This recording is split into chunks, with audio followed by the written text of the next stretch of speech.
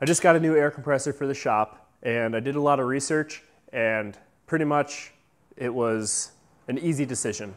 Landed on cast air. As the name implies, cast air. These pumps are made of cast iron. So a little bit of a backstory. Uh, cast Air is a company out of Minnesota. It's a family-owned company. They've been in business since 1991, and I'm going to be going over some of the things that really separate Cast Air over a lot of the other um, industrial grade manufacturers. So Cast Air makes obviously tons of different types of air compressors in different series of air compressors.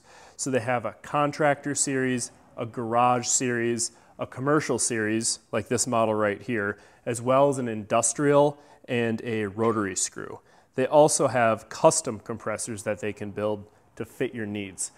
So Cast Air runs their pumps significantly slower, less RPM, which in return, you are gonna get a cooler air charge, which is then gonna have less water in your system, as well as quieter operation and longer life. Another thing that you're going to want to be very concerned about when shopping for air compressors is the word peak horsepower. So the word peak horsepower is not usually true horsepower. The pumps also feature taper roller bearings at both ends of the crankshaft for superior support and less friction.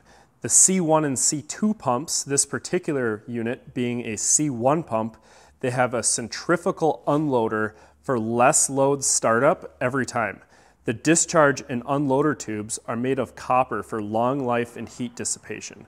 The tanks are powder coated ASME tanks with four legs on verticals and channels on horizontal tanks. All cast air compressors use Baldor electric motors these Baldor electric motors are made right here in the USA and provide optimum reliability and longevity. The motors that are on the commercial series compressor, like the one I have, use a 3450 RPM motor, and the electric motors that are on the industrial series compressors use a 1725 RPM motor. Another thing I want to talk about is accessories. So this motor has the air silencer, which quiets the compressor down considerably, as well as the aftercooler, which is right behind here. So basically, this copper pipe is, can be very hot when you're running it um, uh, for extended periods of time. And basically, the air in here is basically steam, which then it goes through more or less a radiator, which you, might, you can see there, it's on the back side. The radiator then has air being pulled through it from the pulley here. So the air being pulled through that drops the air charge by a considerable amount. So the air charge is then only about 20 degrees above ambient temperature. And this hose right here will actually be almost cool to the, cool to the touch, where this hose right here gets very hot.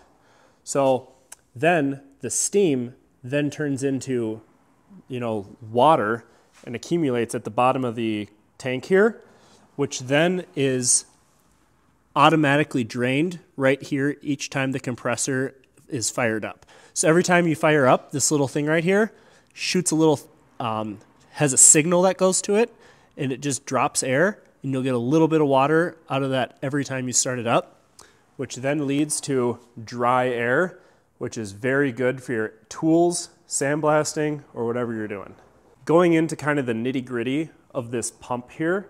So the valve in these pumps is a disc and spring valve as opposed to a reed valve, which is used on a lot of the other manufacturers, as well as the head here being complete cast iron construction and the pistons internal to here have four rings as opposed to three.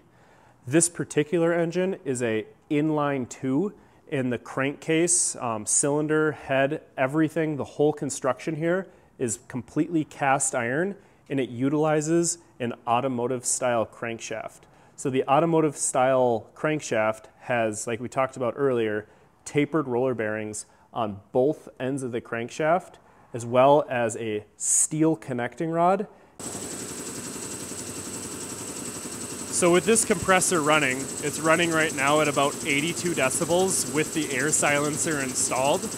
And you can tell just slow, has slow RPM, which promotes quiet operation, long life, and it charges up relatively quick. And this one right here is a two stage, so it'll go up to 175 PSI. And we're using a 80 gallon tank here. It's an overall very quiet, well put together unit and built to last a lifetime.